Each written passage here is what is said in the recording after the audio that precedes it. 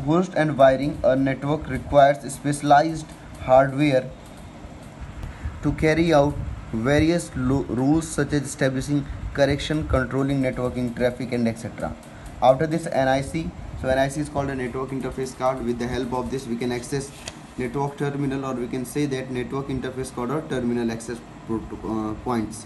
After this hub switch or router. So these all are the these all are used to connect devices from one to another after this communication channel then wired guided and wireless medium and then the next is types of network which is LAN, MAN, WAN, CAN and PAN so basically class LAN means local area network, WAN means wide area network and MAN means metropolitan area networks and PAN means personal area networks. All the types of network are categorized under their under their ranges because short range covered by PAN, some areas covered by LAN and then uh,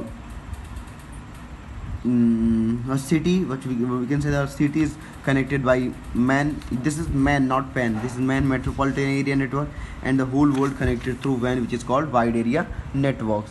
After this there is a type of network. The first is peer-to-peer network and the another is client server network. Peer-to-peer network means the staff is trained by peers. Peer group of children are really is very important. And when we are saying about client server network there's unlike to peer Uh, peer-to-peer network which is bigger network pre prefer to have centralized control